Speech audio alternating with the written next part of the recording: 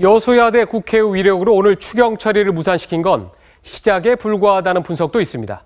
앞으로 사드 배치 문제, 세월호, 각종 청문회까지 그동안 삐걱거리던 야권 공조가 재정립될 것이다. 이런 얘기가 나오고 있습니다. 조정린 기자입니다.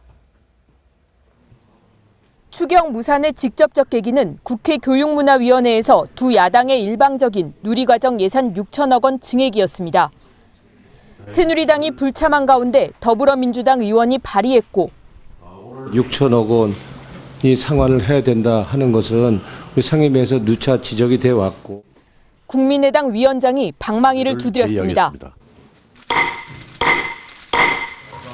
추경 양보를 계기로 정체성이 뭐냐며 설전을 벌이던 두 야당은 추경 무산을 계기로 다시 한 목소리를 냈습니다. 앞으로 사드, 세월호 문제에서도 두 야당은 적극 공조할 것으로 보입니다. 더불어민주당 추미애 대표는 당초 예상과 달리 사드 반대 당론 채택을 서두르지 않지만 반대 입장은 숨기지 않습니다. 문제의 원인은 북에 있습니다만 그걸 어떻게 우리가 외교 안보적으로 훌륭하게 극복해내느냐 하는 것이 우리의 과제입니다. 무기 경쟁으로 가는 것은 한반도 평화, 남북한 모두를 파멸로 몰아넣는 것이라고 생각합니다.